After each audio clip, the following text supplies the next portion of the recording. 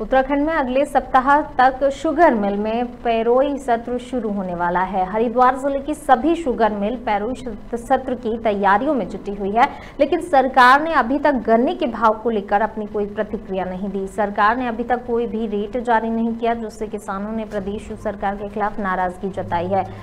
आपको बता दें कि मंगलोर पहुँचे भारतीय किसान यूनियन के जिलाध्यक्ष विकास शास्त्री ने गन्ना मूल्य घोषित न किए जाने से नाराज़गी जताई है। उन्होंने कहा है कि उत्तराखंड में पैरोई सत्र शुरू होने वाला है, लेकिन अभी तक सरकार ने गन्ना मूल्य घोषित नहीं किया है। किसानों को गन्ने का मूल्य बताए बिना ही किसानों का गन्ना फैक्ट्री में डाला जाएगा। वहीं उन्होंने कहा कि बेहाल किसान की आय दुगनी का वादा करने वाली सरकार अपने वादे पर खरी नहीं उतर रही है। वहीं बढ़ती महँगाई को देखते हुए किसानों ने सरकार से पाँच सौ रुपए प्रति क्विंटल करने की मांग की है।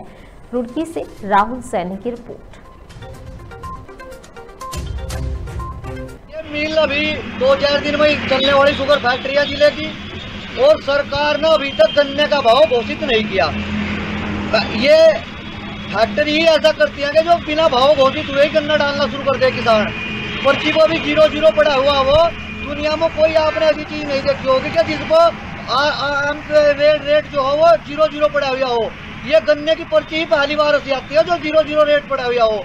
और हम डिमांड करते हैं यहाँ की सरकार से कि महँगाई को देखते हुए कम से कम गन्ने का रेट पाँच सौ रुपये क्विंटल होना चाहिए।